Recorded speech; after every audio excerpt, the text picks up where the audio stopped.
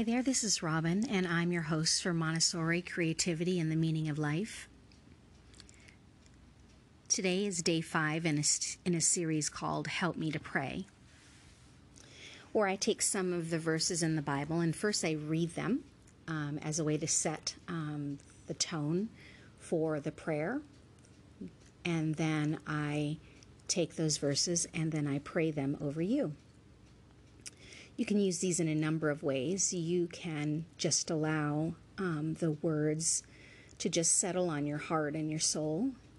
You can listen to it throughout the day whenever you just need that. Um, you you feel that sense of wanting to pray, but you don't have the words to pray. And I know that God honors your desire to pray my daughter and I are going through a Bible study right now, and every day it's called Between Us by Vicki Courtney, and it's set up in a way where there are there's a, a verse um, to read, and there's a story, kind of an anecdote anecdote about um, how she might see it in her life as a teenage girl. And then there's questions that I ask about when I was her age. She's a teenager, she's 14. And then she a- answers questions as well. And we basically go back and forth. So I answer the questions in the morning that pertain to me. And then she reads my answers at night. And then she reads, and then she answers her questions. So today's um, uh, Bible study, I think, might be uh, something to really think about why we cannot seem to really sometimes sit down and pray. And of course, it's having to do with looks and training the body versus training the spirit. And her assignment is pay attention this week to messages you hear that encourage training our bodies or training in godliness. Maybe it's an ad on TV, maybe it's something your pastor says on Sunday morning. Whatever it is, write it down. At the end of the week, tally up the number of times you heard messages about training the body and the number of times you heard about training in godliness. What type of message did you hear more? Now, you know that we don't even need to see her list at the end of the week. You know that we are inundated with this urgency about constantly training our bodies every little morsel that goes into our mouths, every little uh, um, wrinkle has to be erased from our faces. It's just inundated.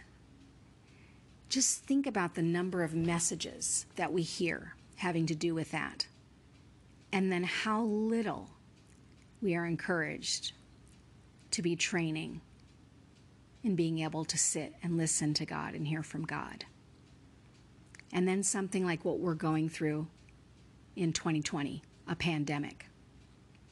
Well, all that training, it's really showing, isn't it? And so I am more committed than ever to the practice of prayer because when it's all said and done, we have no control, folks. We do not know what is coming. But we know the one who's in control. And he is good, and he can guide, and he can keep our soul safe and at peace in the midst of whatever trouble.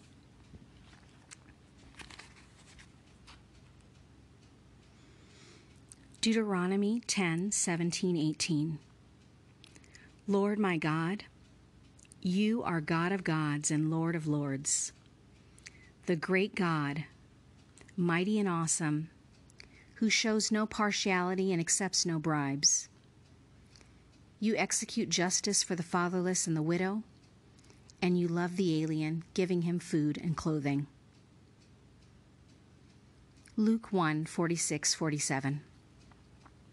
My soul magnifies you, Lord, and my spirit rejoices in you, my Savior. For you, Almighty One, have done great things for me, and holy is your name.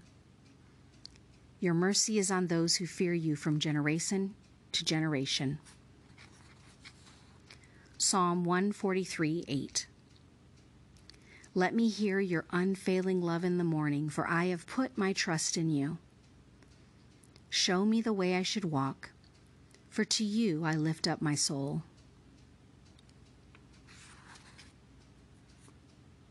Deuteronomy 7 9. You, Lord my God, are the faithful God who keeps your covenant and your loving kindness to a thousand generations of those who love you and keep your commands. Isaiah 63 7.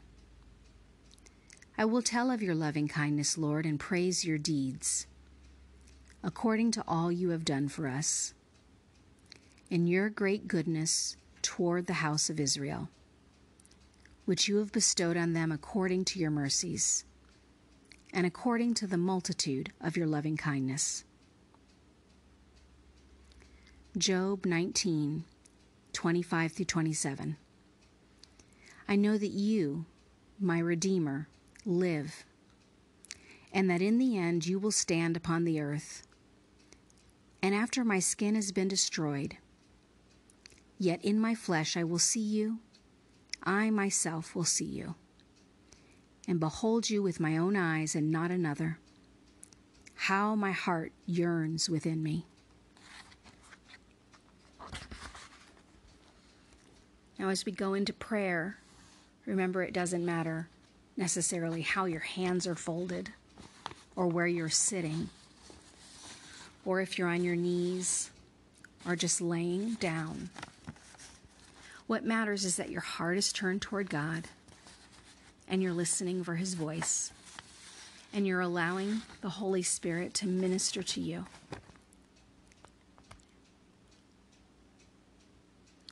God, you are the God of gods and the Lord of lords. You are the great God, the mighty and awesome God, who shows no partiality and cannot be bribed. God, we thank you that you ensure that orphans and widows receive justice. You, God, show love to the foreigners, giving them food and clothing.